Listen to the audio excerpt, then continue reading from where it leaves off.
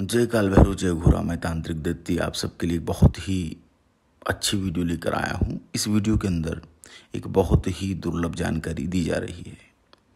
हमने बहुत सारी वीडियो के अंदर बताया है, मरण प्रयोग कैसे किया जाता है। हमने अपने जीवन काल में अनेकों बार मरण प्रयोग किया भी है। परंतु मरण प्रयोग करना कितना उचित है? क्या मरण प्रयोग करना ही आखिरी विकल्प है?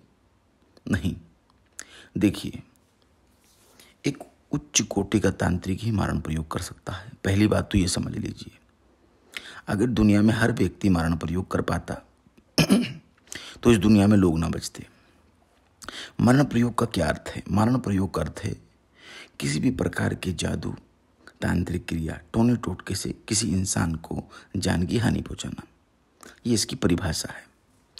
बहुत सारे लोग अपनी अलग अलग प्रकार की सिद्धियों का प्रयोग मारण में करते हैं। परंतु ज़्यादातर देखने को मिलता है कि वो लोग असफल रहते हैं।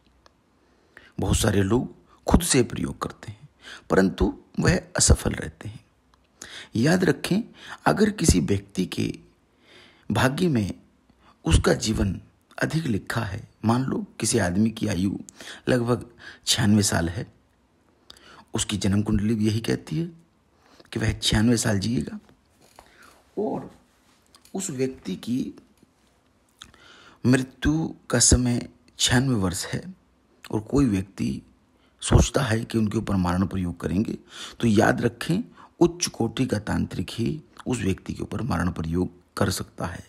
मारण प्रयोग का अर्थ है कि उसके भाग्य में जो चीज़ लिखी है, उसे बदल तक देने की क्षमता रखना। यानी कि जो उसके भाग्य में लिखा है, उस तक को बदलने की क्षमता रखना। काल भैरव की कृपा से दैत्य संप्रदाय ये क्षमता रखता है। परंतु अपनी शक्ति का व्याख्यान नहीं करता। यदि दैत्य सरकार चाहे तो किसी भी व्यक्ति का मरण प्रयोग कर सकती है। परंतु परमात्मा के बनाए हुए नियमों को दैत्य सरकार भी मानती है। बहुत सारे लोग जानना चाहते हैं कि मरण प्रयोग, अगर उनके ऊपर मरण प्रयोग हो गया हो तो कैसे पता करें मारण प्रयोग कई प्रकार का होता है। यदि मान लो किसी व्यक्ति की अचानक से तबीयत खराब हो जाती है, उसके शरीर के अंदर अजीब सी बेचैनी रहती है, उसके सांस फूलने लगते हैं, उसे ऐसा, उसे अजीब अजीब से साए दिखने लगते हैं, सपने में कोई उसका गला घोटता है, जब वो सोता है तो उसकी आँख खुलती है तो वो अपने आप को किसी ऐसे दुर्जन स्थान पर पाता है जहाँ वीराना होता है। जब सपने में कोई चीज़ उसे चोट पहुंचाती है तो जब उसकी आँख खुलती है, सच में उसके शरीर पे चोटों के निशान होते हैं। ये एक प्रकार का मरण प्रयोग है। इसमें किसी चीज़ को उस व्यक्ति के पीछे लगा दिया। इसमें उस व्यक्ति ने अपनी विद्या का प्रयोग करके कुछ बुरी शक्तियों को किसी व्यक्ति के पीछे लगा दिया। इसे मारण कहना उचित नहीं है, परंतु ये भी एक प्रकार का मारण है। ये मारण की मारणी के क्षेत्र में आता है। दूसरे आते हैं। किसी व्यक्ति का दम घुटता है, उसे चुबन होती है।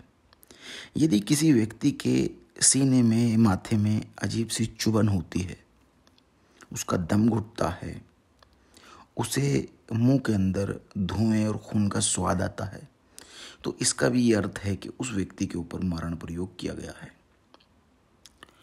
तीसरा व्यक्ति, एक व्यक्ति अच्छा भला सोया बिल्कुल अच्छे से सोया, भोजन करके, फिर उठा नहीं। यानी कि उसकी मृत्यु हो गई। ये भी एक मरण है, परंतु कोई व्यक्ति सोया और किसी तीव्र क्रिया के माध्यम से, किसी उच्च कोटि के तांत्रिक ने उसके ऊपर मरण प्रयोग किया, उस स्थिति में उस व्यक्ति की मौत हो गई। ये सबसे बड़ा मरण प्रयोग होता है। इसके अंदर तांत्रिक अनेकों प्रकार की विद्याओं का प्रयोग करता है, जिसके अंदर अलग अलग प्रकार के यंत्र, मुर्दे, बहुत सारी चीज़ों का प्रयोग करता है, अपनी सिद्धियों का प्रयोग कर कर। वह व्यक्ति अगर किसी के ऊपर मरण प्रयोग करता है और अपनी सिद्धि को उसके ऊपर छोड़ता है, उस स्थिति में अगर ये मरण प्रयोग चूक जाए तो उस तांत्रिक की भी मौके पर ही मौत हो सकती है। लेकिन अगर ये प्रयोग चल जाए तो जिस व्यक्ति पर यह प्रयोग किया जाता है, उस व्यक्ति की मृत्यु तत्काल प्रभाव से हो जाती है। सबसे उच्च कोटि का मरण प्रयोग यदि कोई है तो वह कोई भी व्यक्ति सर्वशक्ति, जो उसकी शक्ति है, उसके इष्ट हैं, वही व्यक्ति कर सकता है। तामसिक शक्तियों की पूजा करने वाले तांत्रिक ऐसे प्रयोग करते रहते हैं, जिस प्रकार हम ऐसी शक्तियों का प्रयोग करते रहते हैं। हो सकता है लोगों को हमारी दी गई जानकारी अच्छी लगी हो। यदि सभी को हमारी जानकारी अच्छी लगी है तो हम चाहेंगे इस वीडियो को लोग लाइक करें और इस वीडियो के नीचे कमेंट करें। और कुछ और पूछना हो तो हमसे प्रश्न करें।